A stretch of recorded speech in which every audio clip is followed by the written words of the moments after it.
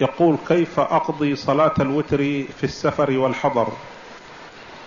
تصليها ما بين ارتفاع الشمس إلى أن تتوسط الشمس أو قبيل الظهر. كل هذا وقت لصلاة لقضاء الوتر. كله وقت لقضاء الوتر. فتقضيه لكن على شفة الشفع. إذا كنت توتر بثلاث تجعله أربع بسلامين. توتر بخمس تجعله ست بثلاث تسليمات وهكذا. نعم.